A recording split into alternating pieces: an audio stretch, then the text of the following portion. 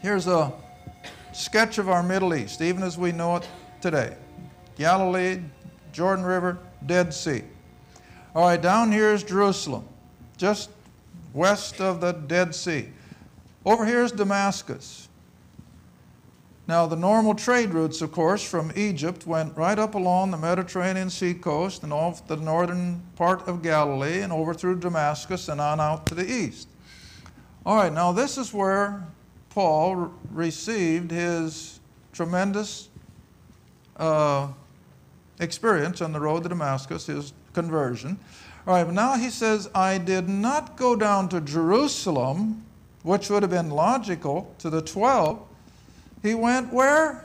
Into Arabia. He goes out into the desert. And instead of going west, he goes east. Now, what's God doing? Keeping him as far from the 12 as he possibly can. Why? Well, can't you imagine how Peter, James, and John would just literally bombard the man now that he's interested in these things? And they'd have nothing, they would have done nothing but confuse the issue. So God providentially sends him east instead of west to the 12. Now think about that. Think about it. If God wanted Paul to preach the same thing that Peter, James, and John had preached, he would have sent them back to Jerusalem. They had all the experience, they had the knowledge. But God doesn't. He makes sure that he doesn't get mixed up with Peter, James, and John. And so he sends him east into the desert, to Arabia. And I think that the same Sinai where he gave the law to Moses. That's my own impression. You don't have to buy that if you don't want to. Because over in chapter 4, turn the page in your Bible to Galatians chapter 4. It just tells us what's in Arabia. Galatians 4, verse 25. The verse itself has nothing to do with this, but it's just the geographical connotation. Verse 25 For this Hagar is Mount Sinai, where? In Arabia. Now, just use some common sense on some of these things. Now, that's what I say. I don't put this in concrete, and I don't say this is the way you have to see it. But doesn't it make common sense that Mount Sinai was the mountain of God. In fact, we were out in that area a few years ago, and the guide told us that the Arabs still call what they think is Mount Sinai. They're not sure, but whatever they think is Mount, the mountain of God. Because that's the mountain where God dealt with Moses and gave the law and over and over. All right, I think it was that same mountain down there in Arabia then that the Apostle Paul was taken and God spent the most of three years revealing to this man all these doctrines that we call the revelation of the mysteries. See? Things that had never been revealed before, that were kept secret and now revealed. Okay, so now reading on back in Galatians 1. So immediately he does not confer with flesh and blood, but now back to Galatians 1, verse 17. I Neither did I go up to Jerusalem to them who were apostles before me, but I went into Arabia. Then, after three years, I went up to Jerusalem, and so on and so forth. All right, now then, we've got to come back to Acts chapter 11. Time is going by, remember. Time doesn't stand still. We are now up to about uh, 40 AD. Pentecost in 29, so we're already 11, 12 years after the crucifixion. Acts chapter 11. And I use this verse constantly because it's the one verse that probably opened up the scriptures to me more than anything else I've ever read. And I just saw that the first time years back, and it just boggled my mind. I thought, well, now, why hasn't anybody ever shown this to me before? Why do you never see it in a, in a quarterly? Why don't you ever hear a sermon on it? Well, I don't know the answer, but I know I never did, and I doubt if you do. But look what it says Acts 11, verse 19. Now, this is after Peter now has been up to the house of Cornelius. This is after Paul has had his three years in the wilderness, and he's already gone back up to his hometown of Tarsus to begin preaching to Gentiles. But now look what's happening here in Acts 11 19. Now they who were scattered abroad upon the persecution that arose around Stephen. Now stop right there. What persecution are we talking about? Who was the persecutor? Saul of Tarsus. And who was he persecuting? The Jewish believers who had embraced Jesus of Nazareth as the Messiah. And because of Saul's intense persecution, as he said, he wasted that Jerusalem church. He just literally destroyed it. Okay, so here we pick it up now again that those who had been scattered because of that persecution of the Jewish church, and they were scattered abroad upon the persecution that rose about Stephen, they traveled as far as Phoenix and Cyprus and on up into Antioch, which is up in Syria now, don't miss the last part of the verse. They went preaching the Word, Old Testament. There's no New Testament written yet in 40 AD. They go out preaching the Old Testament to none but what? Jews only. That's what your book says. I'm not telling you that. The book says it that these Jews who had been scattered by Saul's persecution out of Jerusalem were now penetrating other areas of the eastern Mediterranean, but they were preaching to none but Jews only. Isn't that right in line with what I've been telling you all day? These Jews had no concept of going to Gentiles. They were concerned only with the nation of Israel. All right, but here is the transition kicks in gear, right here. And some of them, now these are Jews, remember, and some of them were men of Cyprus and Cyrene, who, when they were come to Antioch, up there in Syria, north of present day Lebanon, they spoke unto the Greeks. Gentiles are showing an interest. And they preached to those Greeks the Lord Jesus. Now, that's still all these Jews know is that Jesus, whom they crucified, was the Messiah. That's all they've got yet, because Paul hasn't come into the picture. All right? Now, just to show you the mentality of the Jerusalem church, it isn't totally gone, but it's been decimated. But the 12 are still up there. You know that. Acts 8, verse 1 says they were all scattered except the 12 apostles. They're still there. All right. So now then, verse 22. Now this is, this is so interesting. Almost amusing if it weren't so sad. When tidings of these things, what things? Gentiles showing an interest in the things of Israel's God? Yeah. And so when tidings of these things reached the ears of the Jerusalem church, now who's the Jerusalem church? Peter, James, and John, and the rest. Were they hallelujah and all over the place? No, anything but. When the tidings of these things reached the ears of the church in Jerusalem, they sent forth Barnabas that he should go as far as Antioch. Well, now again, you got to read between the lines. Why are they sending Barnabas up to Antioch? Check out the heresy that's going on up there. Our people are dealing with Gentiles. Barnabas, go see what's going on. But you know what? God always has the right man for the right hour, for the right place. I think if Jerusalem would have sent anybody but Barnabas up there, they would have squashed it right then and there. They would have dealt with it. But good old Barnabas. Now read the next verse. When he came, verse 23, and had seen the grace of God. That's about the first time you've seen that. Now he sees the grace of God working. How? On these pagan Gentiles. And Barnabas was glad. He wasn't all shook up like any other Jew would have been.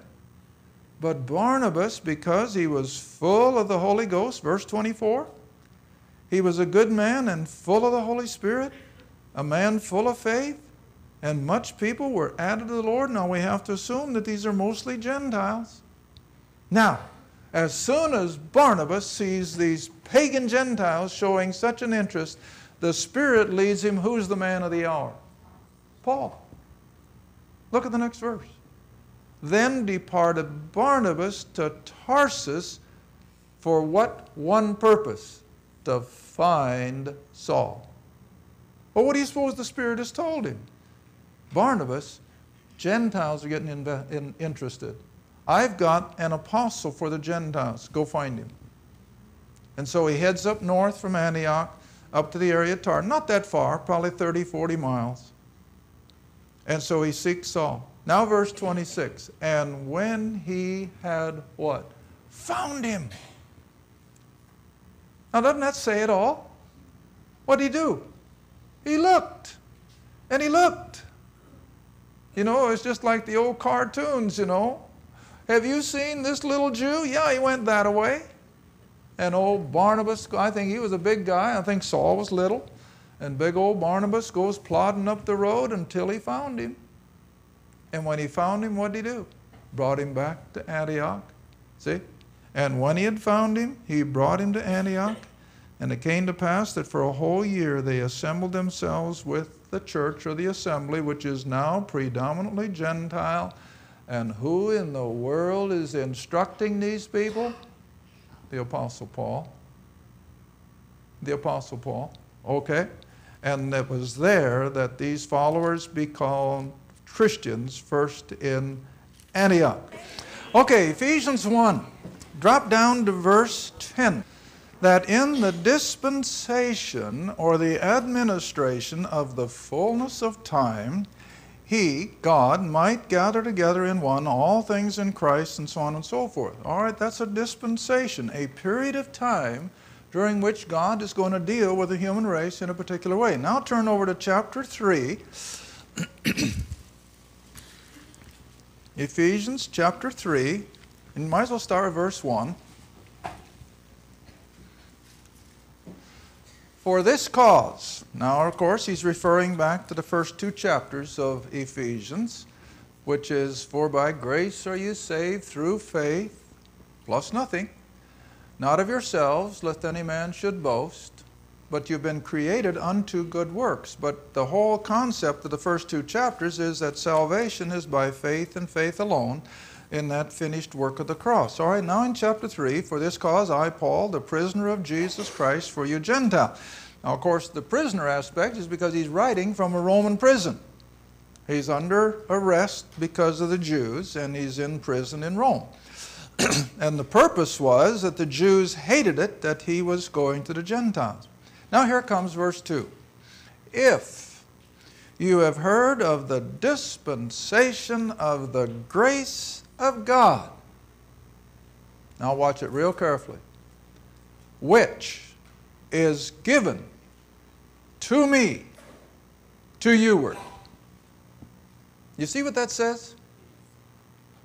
That tells you that the whole dispensational requirements or responsibilities of the age of grace were laid out to this apostle, who in turn took it to the Gentiles. Now look at it carefully again. If you have heard of the dispensation, this period of time during which God is dealing with the whole human race, based on His grace and His finished work of the cross, all right? If you have heard of that dispensation of the grace of God, which is given to me to youward. So, how did the human race get the dispensation of grace? Paul. Where do you find everything that pertains to the dispensation of grace? Paul. You won't find it anywhere else. And that's why most of Christendom totally ignores him to their own doom. I'm afraid millions upon millions of church members are going out to a lost eternity because they absolutely reject Paul's gospel. And Paul's gospel, of course, is 1 Corinthians chapter 15 verses 1 through 4. Now, of course, whenever you read Scripture, you always have to realize what's implied, even though it may not be written. Now, we know that Saul of Tarsus started right out with his conversion experience proclaiming that Jesus the Christ was the Son of God. Even though he does not say that in 1 Corinthians 15, we know that that's part of Paul's thinking, that this gospel is centered on the one who was the Son of God, the creator of everything. All right, 1 Corinthians 15. So here is Paul's gospel. And you know what? You can't find this in Matthew, Mark, Luke, and John. Even John 3:16 doesn't say this. And here it is. Verse 1. Moreover, brethren, I declare unto you not a gospel, but what? The gospel, which I preached unto you, which also you. Now remember, the Corinthians were what kind of people? Gentiles. See? And which you have received, and wherein you stand. By which also. What's he talking about? His gospel. By which also you are saved. And here's the condition that you keep in memory, that you know what I preached unto you, lest you believe in vain. Now here comes the gospel. This is what we must believe for salvation. For I delivered unto you first of all that which I also received. Received from where? The ascended Lord. The ascended Lord, which I received, and how that Christ died for our sins according to the Scripture and that he was buried and he rose again the third day according to the Scripture. That's the gospel. Plus nothing. That Jesus Christ, the Son of God, the creator of everything, went to that Roman cross and died for the sins of the world. He was buried, he was really dead, and by the miraculous supernatural power of the Almighty God, he was raised from the dead to our justification. And when we believe it, God has promised to give us eternal life. No strings attached. You don't have to join a church. You don't have to be baptized. You don't have to give 10%. You don't have to do this. You, you believe the gospel. And when you believe the gospel, then we're not under law. We're under grace. And here's where we draw the line. Okay, now come back with me to Romans. These are all truths that are part and parcel of this dispensation of the grace of God. You won't find these things anywhere else in Scripture because they were part of the secret things that God revealed to this apostle. That's why Peter said, Go to the epistles of Paul because of the wisdom given to him. And this is what we have to understand that Paul is our apostle. You don't throw the rest of your Bible away, of course not. We can study Christ's earthly ministry, we can study the Old Testament, we can understand what the law demanded, but we're not under that. We're under grace. Okay, now here it is. This says it about as plainly as I can find. Romans 7, verse 6. Well, let's just start at verse 5. For when we were in the flesh, in other words, before our salvation, whether we were young or old, for when we were in the flesh, the motions or the acts of sins, plural, which were by the law. Now stop a minute. What sins, plural, are designated by the law? Well, adultery, thieving, gossiping, profanity, coveting. Follow me? Those were sins that were definitively expressed in the law. All right? Every human being, I got to watch my language, English here. Every human being is guilty of these things. I'll get around it because it comes naturally. I mean, adultery is something that you don't have to tell somebody how to commit adultery. It just comes naturally. You don't have to tell somebody how to steal. You don't have to tell somebody how to gossip. It just comes naturally. See? All right? So these things which were de defined by the law, they worked in our members, that is, our human makeup, to bring forth fruit unto what? Death. See? Now what does Romans 6:26 say? For the wages of sin are death. Spiritual death. Because every day that the lost person keeps committing these sins, he's piling up for his judgment day. Because the books are going to be opened, see? All right, so all these things that were part and parcel of our life as an unbeliever did nothing but bring forth fruit unto death. But next verse, but, see? But now, we as believers are delivered from the law. The law no longer convicts us because we've been crucified to it and it's been crucified to us. All right? So we are delivered from the law that being dead, I'm going to have to take this slowly because this is not surface stuff. This is deep. This is where most people never get. That we are delivered from the law, that being dead, wherein we were held by the law. The law was severe. The law stipulated that if somebody was guilty of picking up sticks on the Sabbath day, what was the punishment? Death death for a simple thing like picking up sticks on the Sabbath day. And that's where the lawkeeper finds himself if he really wants to understand it. He's under the constant penalty of death. All right? That we should serve now as believers, we should serve or live seven days a week in the newness of the Spirit. What's that? When we become a believer, the Spirit comes in. And the Holy Spirit takes the place of the law. Now, is that so hard to understand? I don't have to have the Ten Commandments on the wall. You, as a believer, you don't have to have the Ten Commandments constantly remind you, thou shalt not and thou shalt. Why? Because we have the Holy Spirit who takes its place. The Holy Spirit will constantly tell the believer, don't do that. But you see, where the law could just simply say, don't do it, the Spirit empowers us not to do it if we let Him. Oh, what a difference! See, when the legalist says, Well, I don't know if I'm good enough, well, I can see why he does. He can never know if he's good enough. But see, I don't have to worry about if I'm good enough. Christ was on my behalf.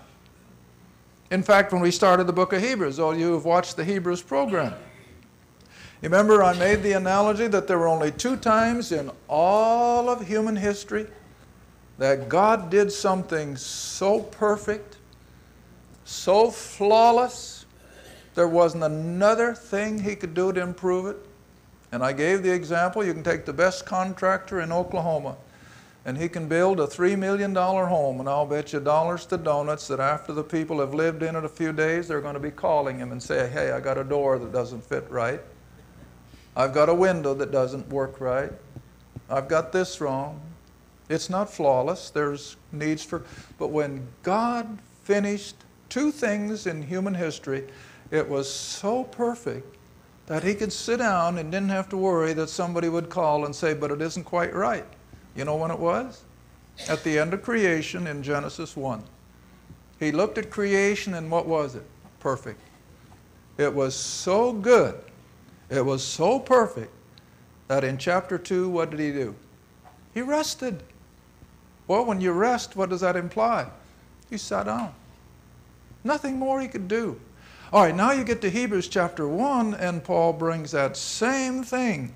And when he had purged us from our sin, where did he do that? At the cross.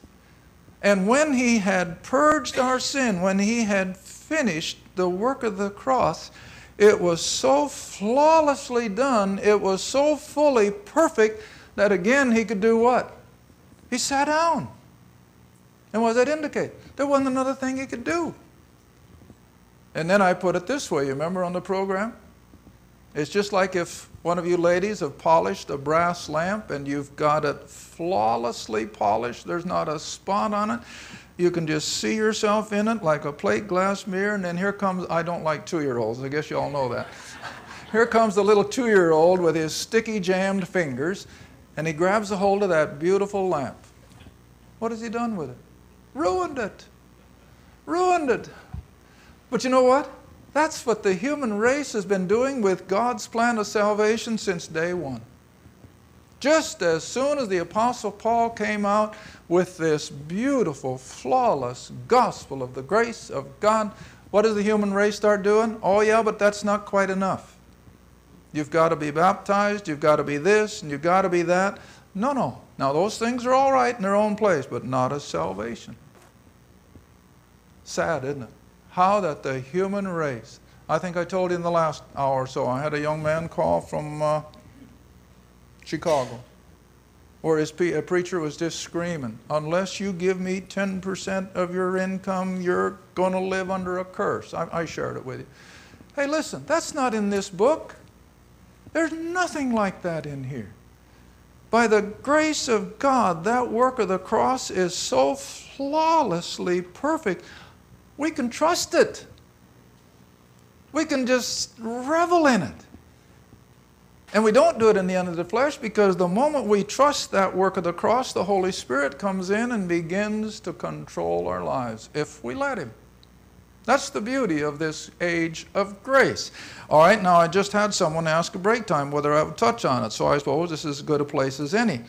Uh, finishing verse 6, though, before we move on. But now we are delivered from the law that being dead wherein we are held, we should serve in newness of spirit, the indwelling Holy Spirit, and not in the oldness of the letter, which is Paul's word for the law. Well, on that same vein, I'm going to Corinthians anyway. Stop at Corinthians, 2 Corinthians, chapter 3. 2 Corinthians chapter 3. Almost the same, the same concept. Now, this is Paul writing, of course, to the Gentile church at Corinth, the most carnal of all of his congregations. They had a lot of problems.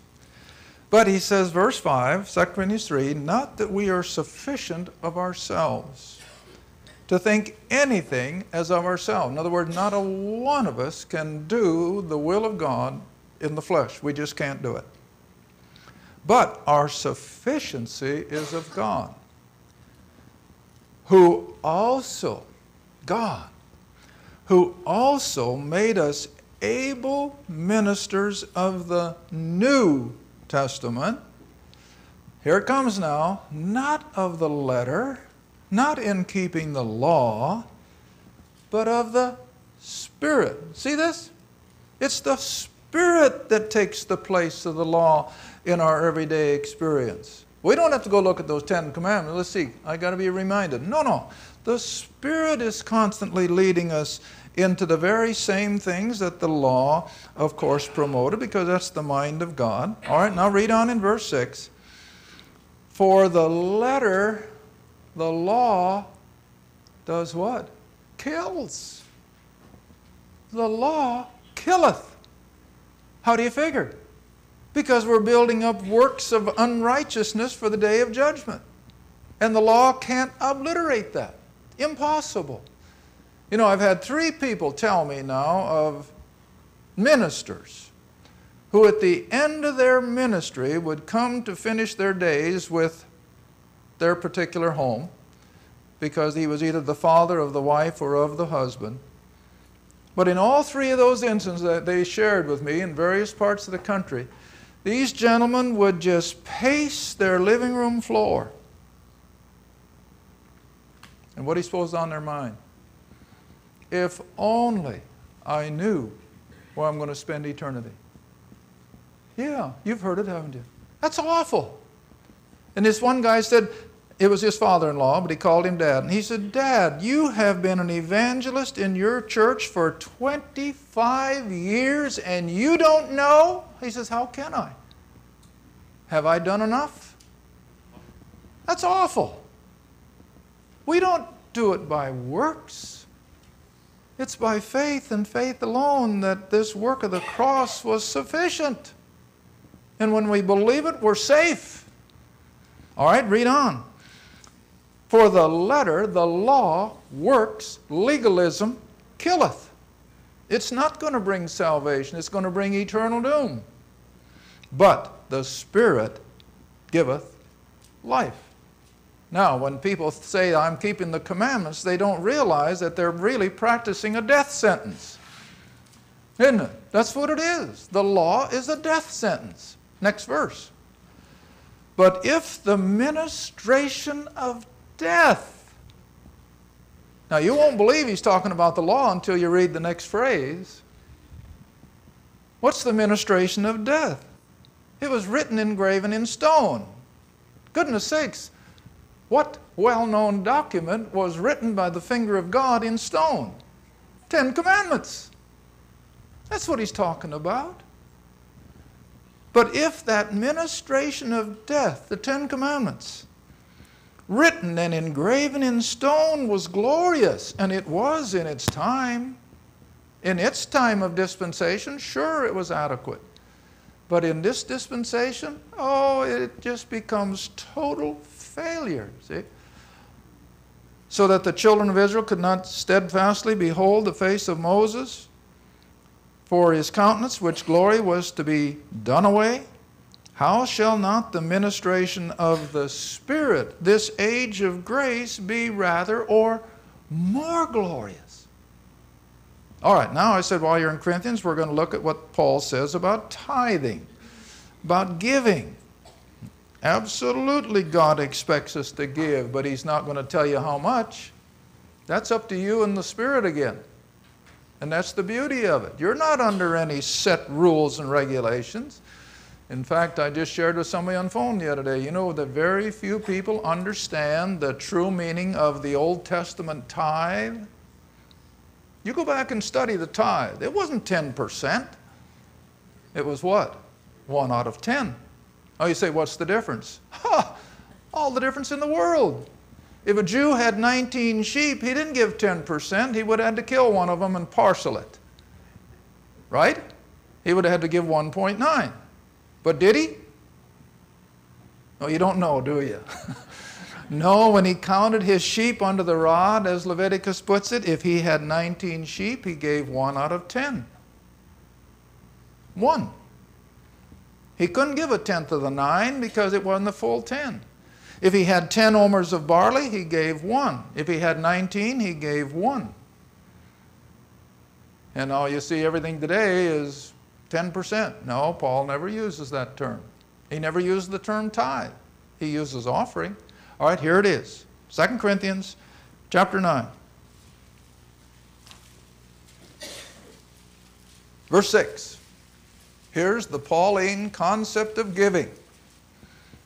And it's because we're under grace, not under law. Tithing was part of the law. Verse 6 But this I say, he who soweth sparingly shall reap sparingly. Well, that's obvious, isn't it? Now, come on, you got wheat farmers all over Oklahoma. I imagine some of you got your roots out there. All right, if a wheat farmer was going to go out there, see the normal, if I remember correctly, Todd, do you remember what's the actual sowing rate? Three bushels per acre? He don't know either. If I remember right, at least when I farmed north for oats, which was a small grain, I think three bushels to the acre was our normal seeding rate. So if you sow one bushel to the acre, what kind of a crop are you going to get? Next to nothing. But if you go out there and think, boy, I'm really going to work this one over, I'm going to sow 10 bushels to the acre, what do you get? Nothing. It comes up so thick it can't do anything. So you got the ridiculous and the sublime. All right, so you do things in order. And so Paul says, if you sow sparingly, if you're not going to give, you're going to be a tightwad, then don't expect an awful lot of blessings from God either. But on the other hand, don't try and manipulate him by a letter like I had here a while back. Now, here's where I'm different from all your other ministries. This gal out in, I think, Kentucky, wrote a letter with all of their problems, their medical expenses, and the rent was due. So what does she do but sends the ministry $500 with the request that we ask God to multiply that by 10 times. That would be what, 5,000? You know what I did? I sent it back to her. And I said, Lady, you've been watching too many television preachers. God doesn't work that way. God doesn't expect you to give and then pray to multiply it 10 times. That's manipulating him. He won't have it. So I said, You better use this 500 bucks to pay some of your bills. But you see, this is what so many people are getting the idea that they can manipulate God. If I give him a hundred, he'll give me a thousand back. That doesn't what the books say. All right, but here's what it does say. He who soweth bountifully shall reap bountifully. Now, verse 7. This is the criteria for grace age giving. Every man as he purposeth in his heart. Now, who's controlling the heart of the believer? The Holy Spirit, again, see? So, every man as he purposeth in his heart, let him give. Now, that's common sense. That's practical giving.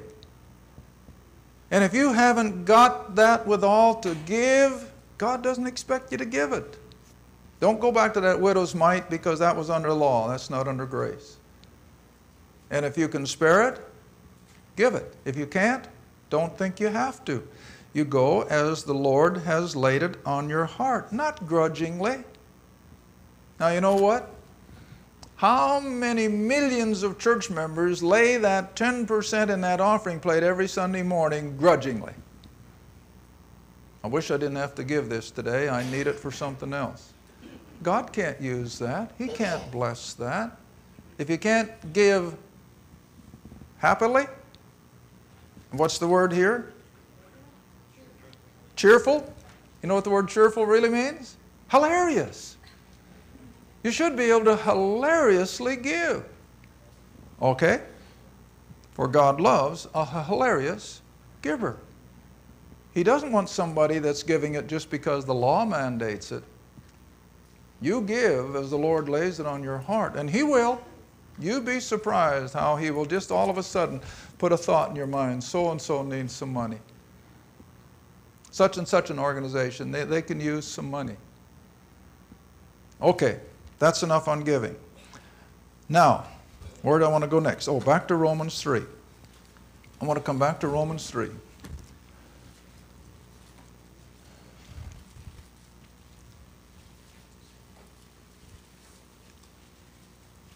Verse 19 and 20.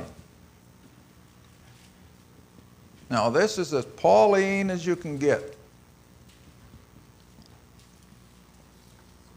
Romans 3, Verse 19. Now we know that what things soever the law, now that's the Ten Commandments, that whatever the Ten Commandments say, it says to them who are under the law. Who was under the law?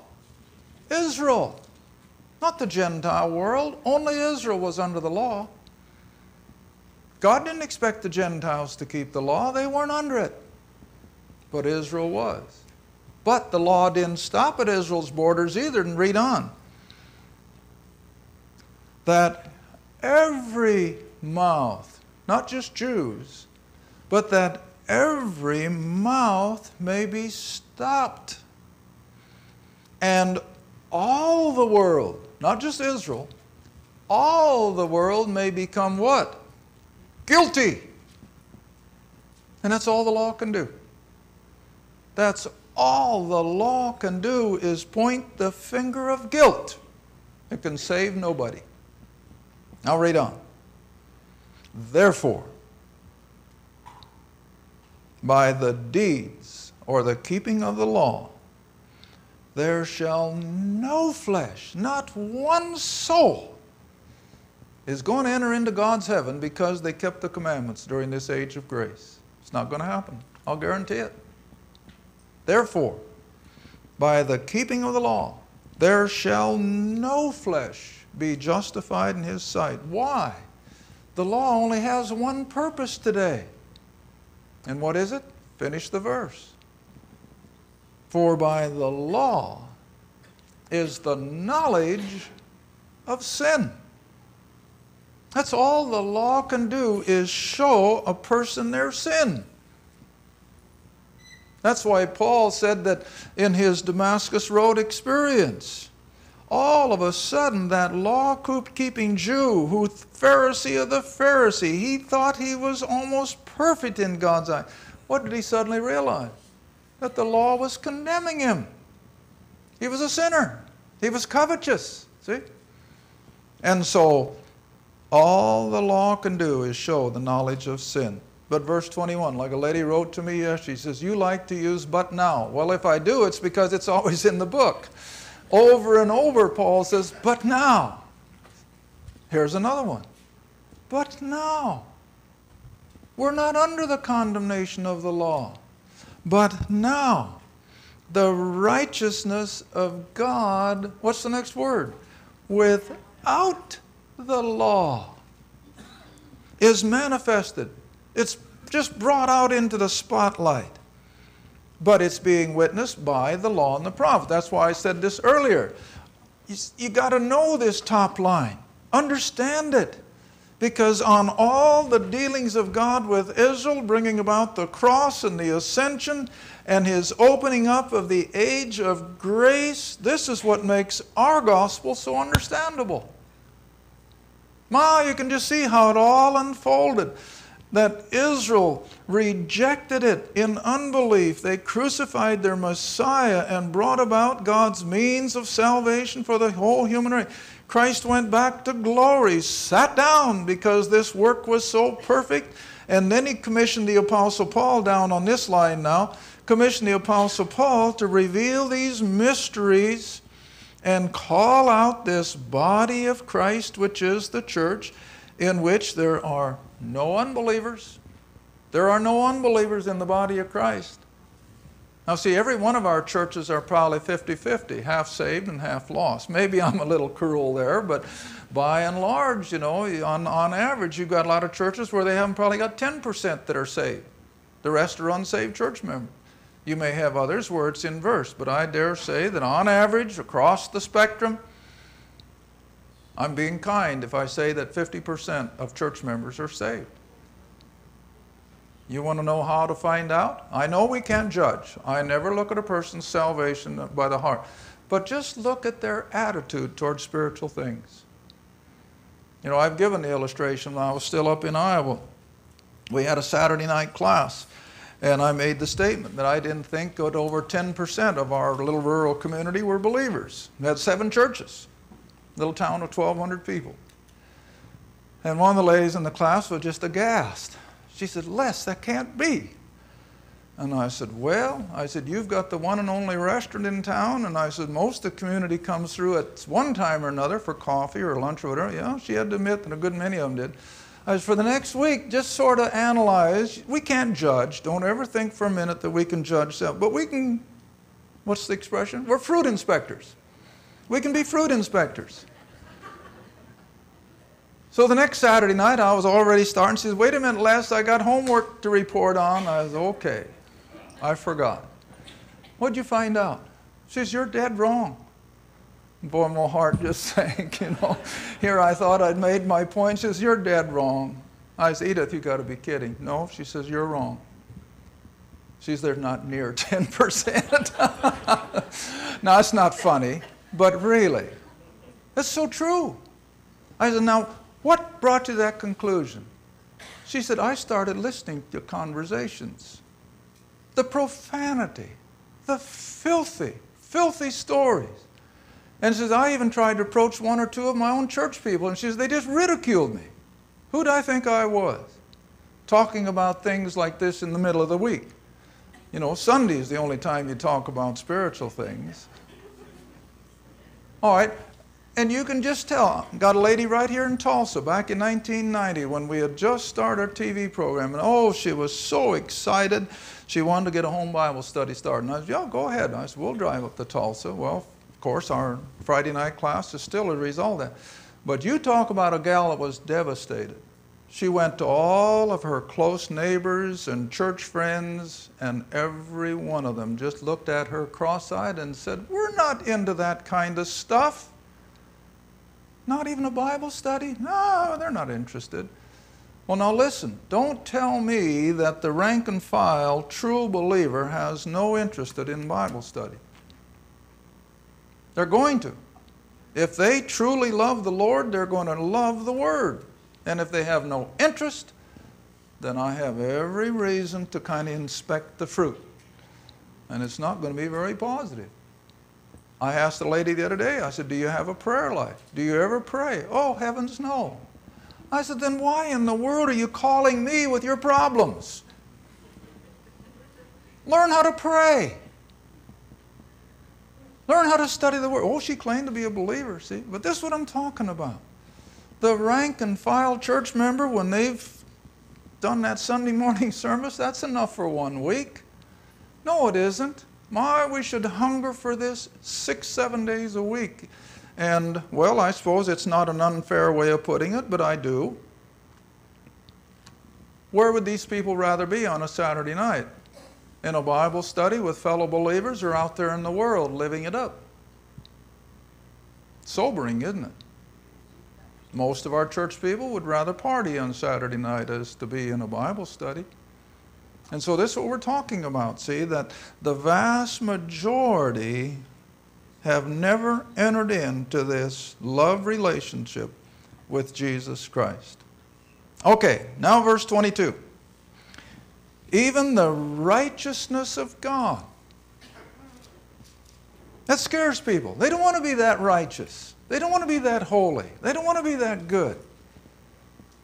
Well, now listen, I never ask anybody to put a halo on their head and walk with their nose up in the air and say, Well, I'm too good to associate with you. No, that's not the Christian life.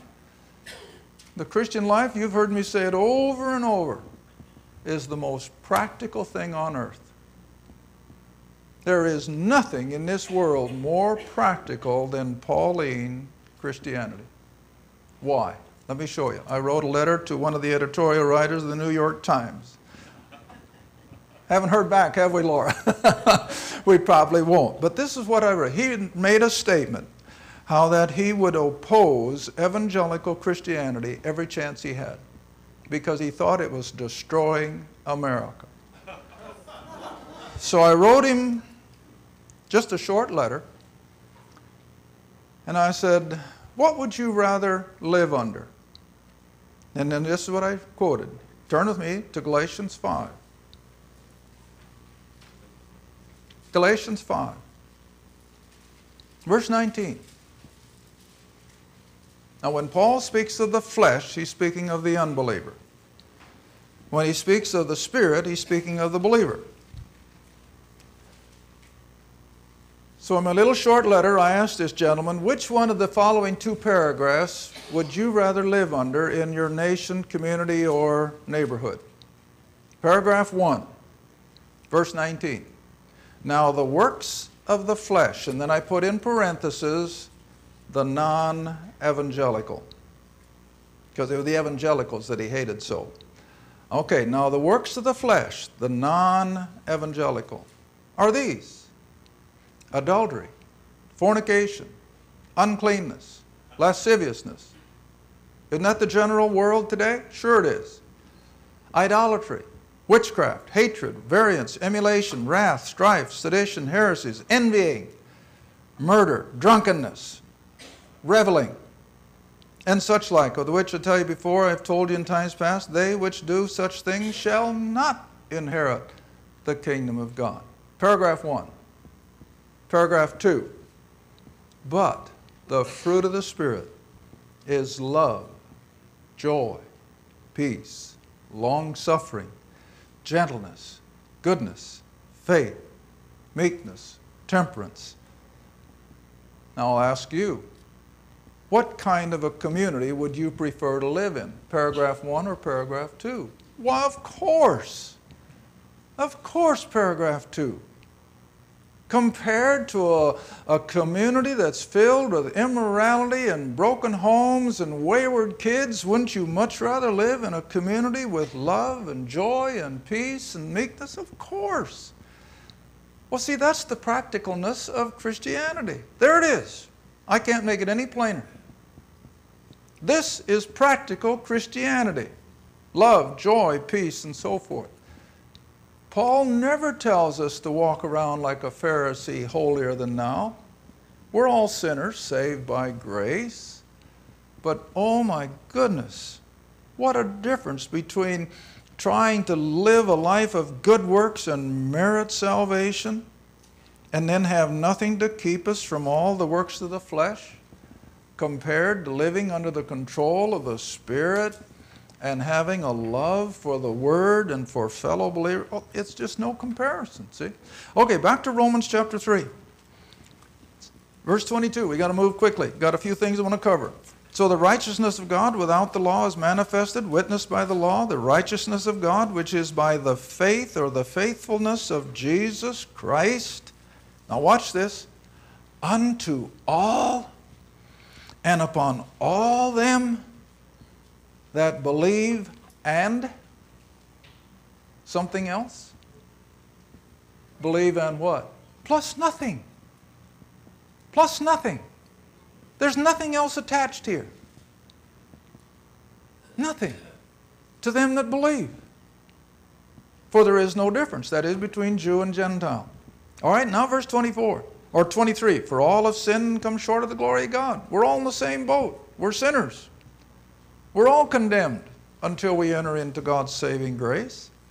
Now, verse 24 being justified freely, without a cause, by His grace through the redemption or the process of buying us back that is in Christ Jesus, whom God, see, it all starts with the Creator, whom God has set forth to be a propitiation through faith in His blood. Yes, we have to have faith in the shed blood.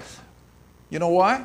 There are two absolutes in Scripture that nobody, no denomination, no religious system can bypass, go under, or over, or anything else. What are they? The two absolutes. Without faith, it is impossible to please Him. Without the shedding of blood, there is no remission. Absolutes.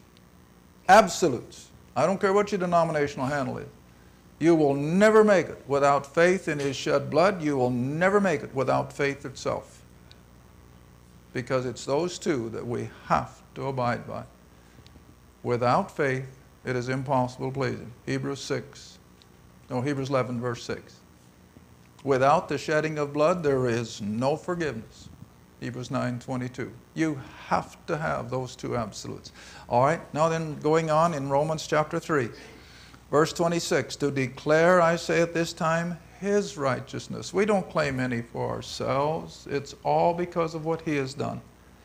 That he, God, might be just See, God can never cut corners. Do you realize that? God is not a Santa Claus whose nose can be tweaked and manipulated. God will never cut corners. God will never compromise. God is absolute. All right? And He's just. And He is just in being the justifier of that person who repents and is baptized. Doesn't say that. He's the justifier of the person who what? Who believes. See? But oh, here's what I mean those sticky jam filled fingers. They've added all this stuff to God's perfect plan of salvation. And it's not in here. It's to them who believe that God justifies. Let's go a little further.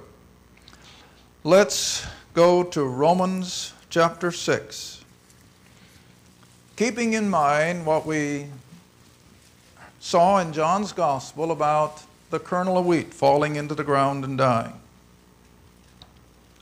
All right, now, as Christ died for us, what do we also have to do to the old life.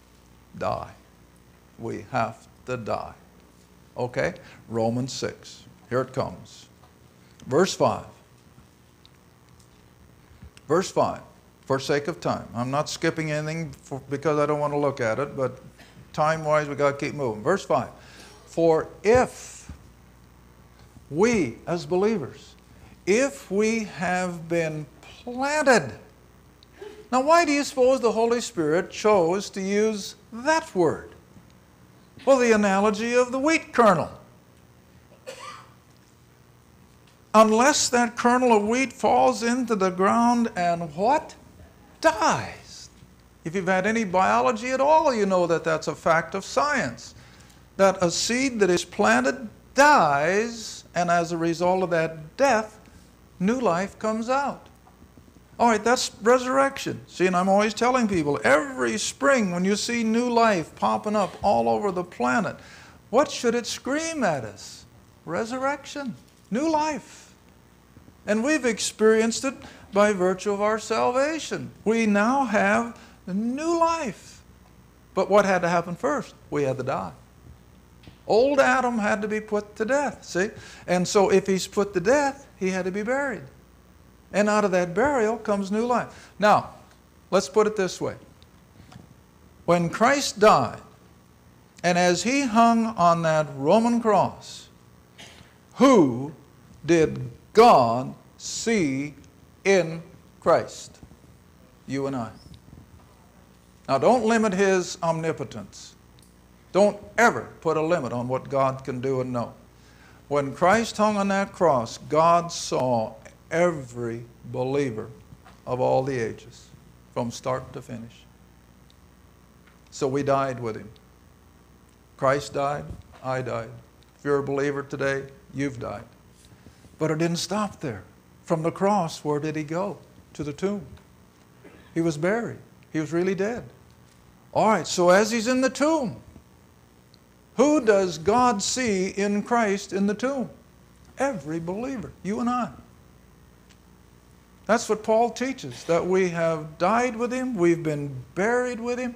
Now, then, the glorious part, when he arose from the dead in resurrection power, again, who did God see in that resurrected? You and I. You and I. And so we have died with him, we've been buried with him, we've been raised to new life with him. That's our union with our Almighty God. I'll tell you, it gets so exciting that it's almost impossible to contain.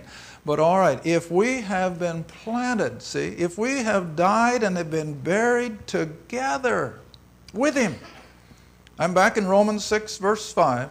If we have been planted together in the likeness of His death, we shall also be in the likeness of His what? Resurrection.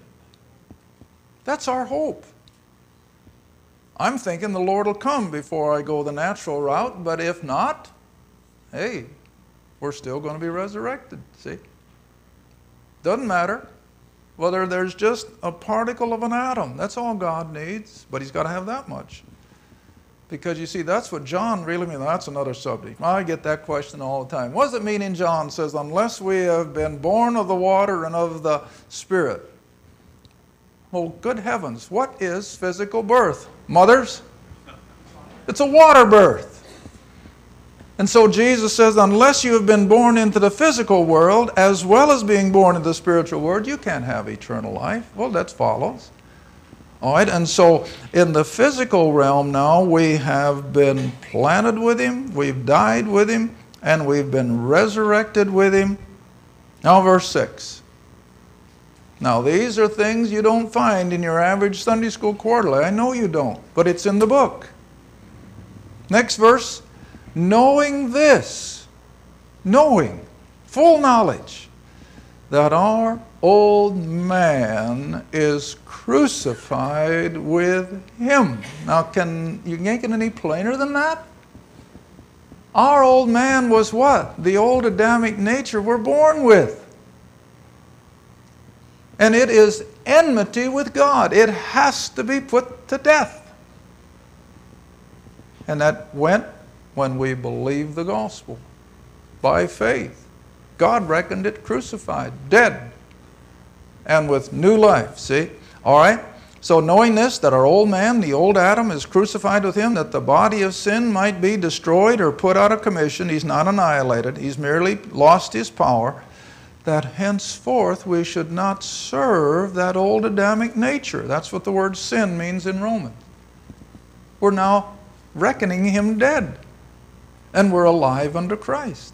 That's why a believer should never have any tantalizing thoughts for the things of the flesh. That's the old Adam. We shouldn't hanker to be out there with the world. That's the flesh. We just read about it. That should be the last thing on the mind of the believer because we have a whole new set of priorities. All right, verse 7 For he that is dead, the man that's the woman's been crucified with Christ, is freed from that old Adam. So now, if we're dead with Christ, we believe we will live with him. Why? Because of resurrection. For in that he died, he died unto sin once, but in that he liveth, he liveth unto God. Well, those are all Pauline principles. Let me show you one more, and then we're going to look at the rapture, and then we're going to go home, if we don't get raptured first. Because I think we're getting close. I, I really do. With the way things are going in this world, I don't see how it can go much longer. Come back with me to Galatians for a moment. Verse 17. Verse 17. Galatians 5. Didn't I give you the chapter? I'm sorry. Now you know what my poor wife goes through on that program. She's sitting over there mouthing, Give me the chapter.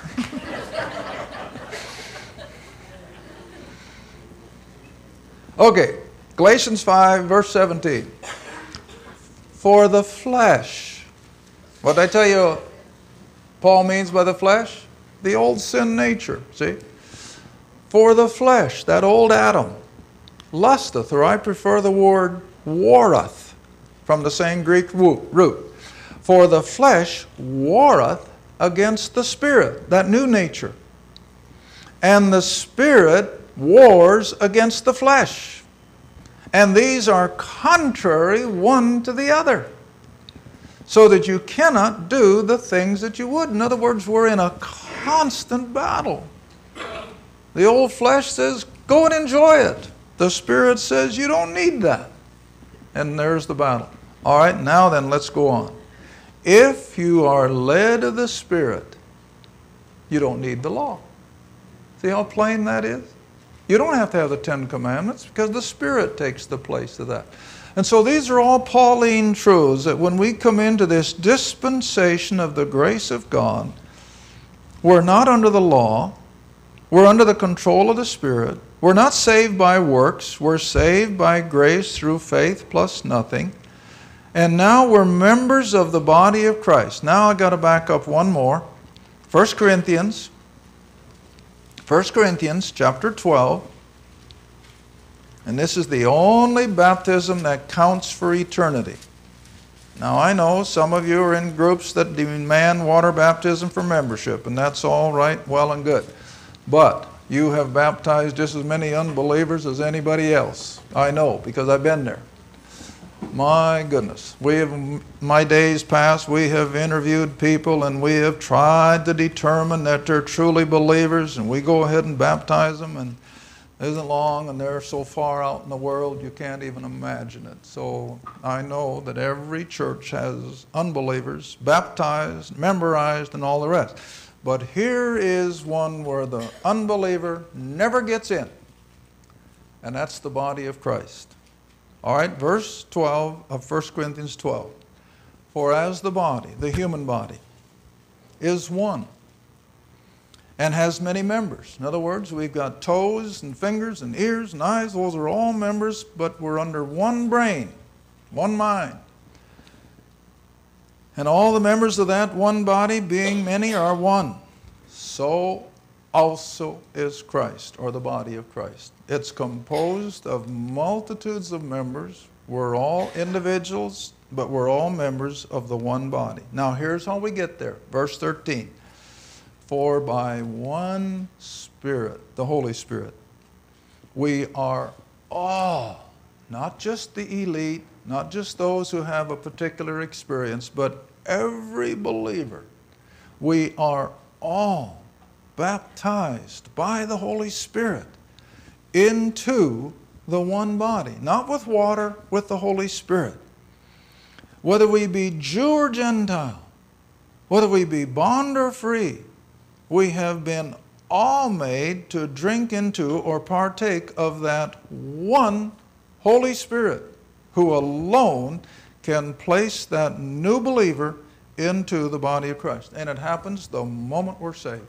The moment we believe, the Spirit places us into the body. Now, once you're in the body, you have fellowship believers. I don't care where you go. Iris and I can testify. We can go from one in this country to the other. Step into the foyer of total strangers, and in 30 seconds, it's as if you've known each other all your life. I mean, it's fabulous. And they don't have to have the same denominational handle. I just don't go for that at all. But when you're members of the body of Christ, you have that affinity that is immediately discernible. And you just can't help but know it. All right, and that's the difference between the true believer baptized by the Spirit into the body of Christ, whether he's a Methodist, Lutheran, or whatever you may imagine to be. That isn't what counts. It's are you a member of the body of Christ? That's for eternity. Membering in a local church is only for maybe a lifetime. Good place to get married and buried, but uh, maybe that's as far as it goes, see? But to be a member of the body of Christ is for all eternity. All right, now then, the church on earth is going to have to end from the letters of the same apostle that introduced it. And that will have to go to 1 Corinthians again, chapter 15, starting at verse 51. Behold, I show you a what? Mystery. What did I say the word meant? Secret. Paul is revealing a secret. And you know what? You can't find it anywhere else except Paul. See, that's why I'm adamant. I'll argue with anybody. No, I don't want to argue. The church will not go into the tribulation. It cannot. Because the church is a Pauline revelation that is completely insulated from God's dealing with Israel in prophecy. It just won't fit. Here we are, we're not under law, we're under grace, but the tribulation is going to be back where? Under the law. You can't put a grace age person under the law. So you see, the church cannot, I don't care how many times they write, the church cannot go into the tribulation because the body of Christ is insulated. And the reason they can't see it is they will not go back and look at the mysteries revealed to the Apostle Paul. I get letter after letter. They don't agree with my view on the rapture. And then you know all the scriptures they give me? Old Testament, the four Gospels, and then on to the end. And never, never do they bring up a verse from Romans through Philemon. And I just pitch it in the wastebasket. I think if they don't know any better than that, why should I try to make a point? Because Paul alone gives us the gospel for salvation, the age of grace. Paul alone gives us the beginning of the body of Christ, the walk of the body of Christ, and the end on earth for the body of Christ. Paul alone. All right, here it is. For I show you a mystery, a secret that's never been revealed to any other writer of Scripture. We shall not all sleep or die, but we shall all be changed. Now listen, that's obvious, isn't it? We can't go to heaven in this body. It's mortal. And we aren't all going to die. He's made that evident. There's going to be a group of people who will live to see the Lord's coming. So, for those of us living and are not going to be dead and resurrected, we have to be what? Changed. Metamorphosis. Now, I like to use metaphors, metamorphosis of the caterpillar and the butterfly, except for one reason. That's so slow. that takes a while. But you see, our metamorphosis is going to be what? Instantaneous. Now, again, be logical. If we are going to be raptured up to meet the Lord in the air and we're in here, I imagine there's a couple more floors above us boy, we'd be squashed like bugs on the ceiling. But you know what? We're going to be immediately metamorphosed before we even leave the floor. And we're going to be in that new body that, listen, When we get into the eternal state, you and I have no comprehension of the physical and the chemical makeup of what our bodies will be. Hey, we'll go through matter like it isn't even there. And I know I'm right because when the Lord came into the upper room, did he come through the door? No. Where did he come from? It says he came right in with the doors and windows shut. Well, no, that's obvious then, isn't it? He came right through the material. And we're going to do the same thing. I mean, that's why these things are given to us. This isn't so bizarre. With God, nothing is impossible. And He can change us in the split, split second from this mortal body to the immortal that'll just be in His presence. Okay? So He says, We shall not all die physically, but we shall all be changed and fit for the immortal state in a moment. Now, the Greek word in your originals is the smallest matter of time. Now, today, you know, they've got that down pretty small, haven't they? What is it, a quark? Have I got any physicists in here? In the quark, one of the smallest? Do you know, Ken? Well, anyway, they've got a new word for it now that's smaller than when I went to school. And uh, it's just a fraction of a fraction of a fraction of a second. That's how quick we're going to be changed. That's what the book says, see? All right, next verse. At the last trump, now I got to stop another argument. Everybody says, oh, it's the seventh trumpet in Revelation. Listen, those are trumpets, plural, and they're angels' trumpets, plural. This is God's trumpet, singular. What a difference.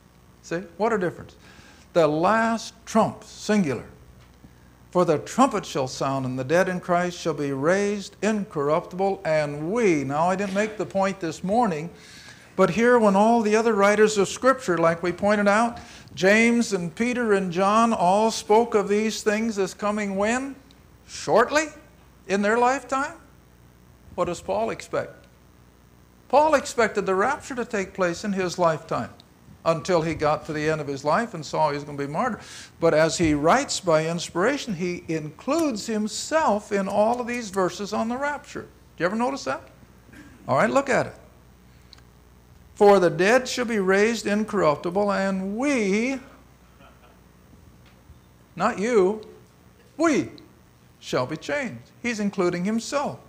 All right, now let's go over quickly to 1 Thessalonians, the companion passage. 1 Thessalonians, chapter 4.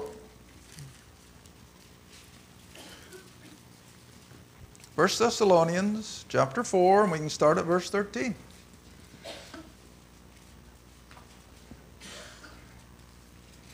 First Thessalonians, that's in the T's.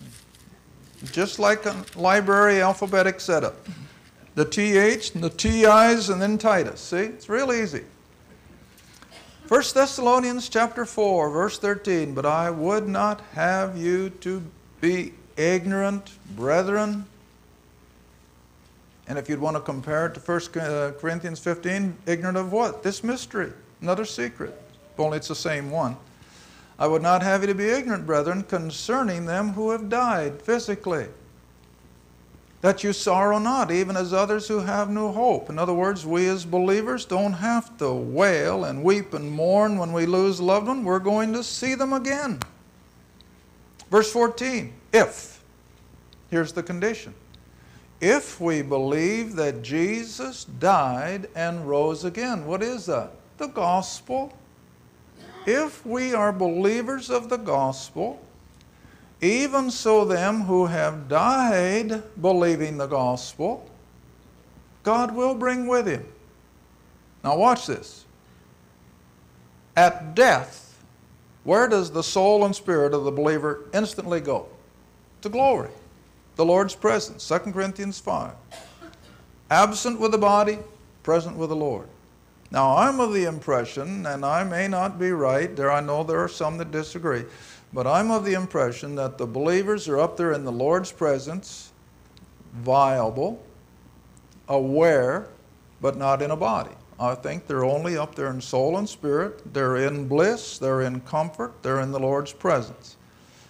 but I cannot see them from Scripture as being bodily enshrined. They're only up there in soul and spirit, waiting for what?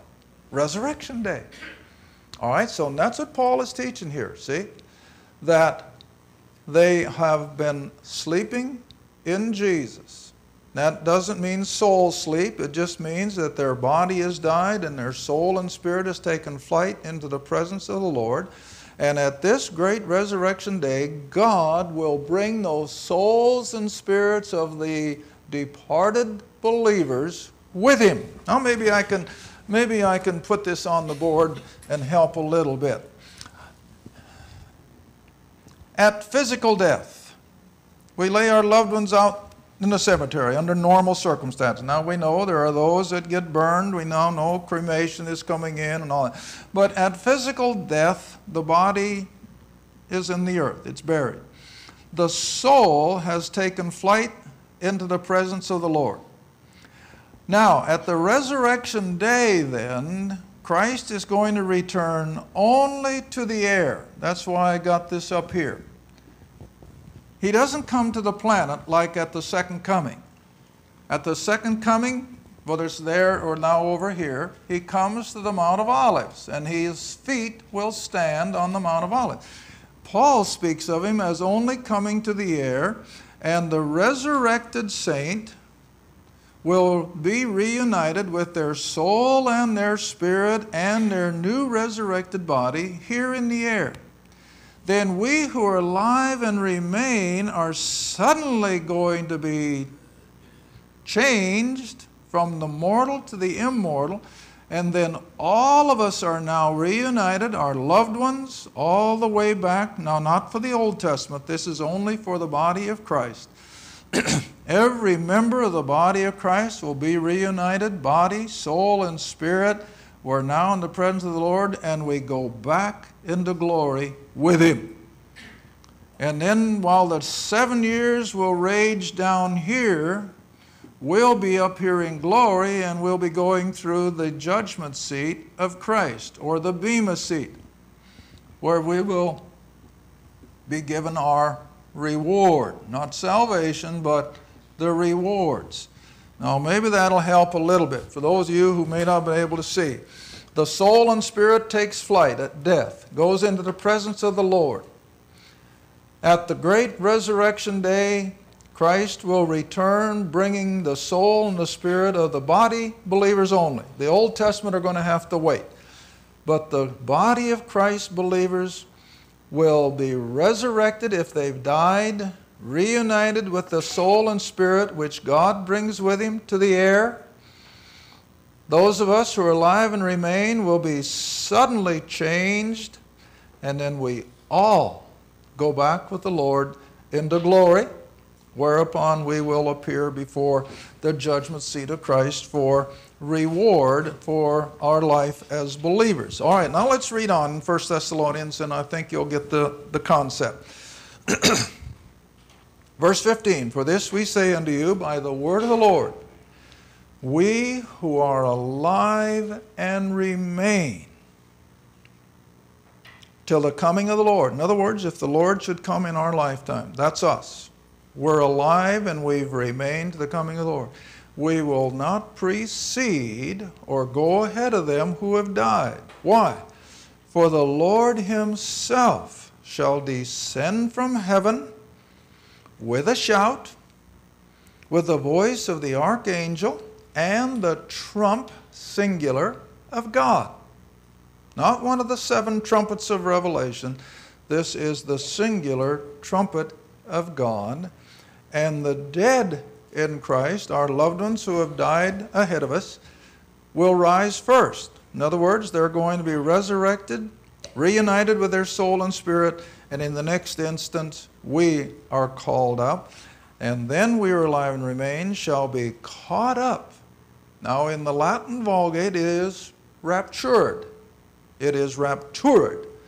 So when they tell you the word rapture isn't in the Bible, no, it's not in the King James, it's not in English, but it is in the Latin Vulgate. All right, so we who are alive and remain shall be caught up together with them, our loved ones who have been resurrected. And we will meet the Lord in the air. And so shall we ever be with the Lord. Now, by comparison, and then we're going to quit. By comparison, then come back to Acts chapter 1, where again we're dealing with Israel. Jesus and the eleven are up there on the Mount of Olives. And he has just spent the 40 days after his resurrection with these 11 men. Peter, of course, wondering when he's going to set up the kingdom, because that's still on his mind. But now, as they've watched him ascend from Mount Olives, Acts chapter 1. Acts chapter 1, verse 9. And when he had spoken these things, while they beheld, just like the crowds at uh, Cape Canaveral. You know, they stand there and they just watch those rockets go. All right, and while they beheld, he was taken up, and a cloud received him out of their sight. Must have been a fantastic experience, huh? Here they're standing on the Mount of Olives, and all of a sudden, up he goes. Verse 10 While they looked steadfastly toward heaven, can't you just see them? As they were watching him go, two men stood by them, angels. And these angels said, Ye men of Galilee, why stand ye gazing up into heaven? This same Jesus, who is taken up from you into heaven, shall so come in like manner. Now, here you have to stop a minute. What kind of a body did they watch take off from Mount of Olives? Well, I just told you, the body that went right through the wall. But yet, up there on the shores of Galilee, what did he do with them? He ate with them, he walked with them, he talked with them. See? All right, this same Jesus, the angel said, that you have walked with, have talked with, and yet have seen do these miracles, he's coming again. See? This same Jesus which is taken up from you into heaven shall so come in like manner. As you've seen him go, he's coming back. All right, now let's go back and look at the Old Testament if it isn't identical. Come back to Zechariah, next to last book in your Old Testament, chapter 14. We looked at it briefly this morning. and with this, we're going to close far as I know now. I think with this we're going to close. Okay, now here is exactly what the angels were telling it to. Now, who were, who were the angels dealing with? Israel, the 12, the 11. And the prophetic program is not talking about the rapture, it's talking about the what? The second coming. Two totally different events. Seven years apart, minimum. Might be a few more. But here is the Old Testament account of the same event that you've got in Acts chapter 1. Verse 4 And his feet, physical, literal, visible, his feet shall stand in that day, the day of his second coming, upon the Mount of Olives where were they in Acts chapter 1? On the Mount of Olives. And where did the angel say? He will so come in like manner as you've seen him go. Zechariah says the same thing. He's going to come and he's going to stand in that day upon the Mount of Olives. That's second coming. That's all associated with Israel. He comes to the air for the church. My, what a difference. What a difference. We hope you've enjoyed this all day seminar with Les Feldick. If you would like to know more about the Les Feldick Ministry or want to order more study material, please write to us at Les Feldick Ministries, Route 1, Box 760, Kinta, Oklahoma 74552, or call us at 1 800 369 7856.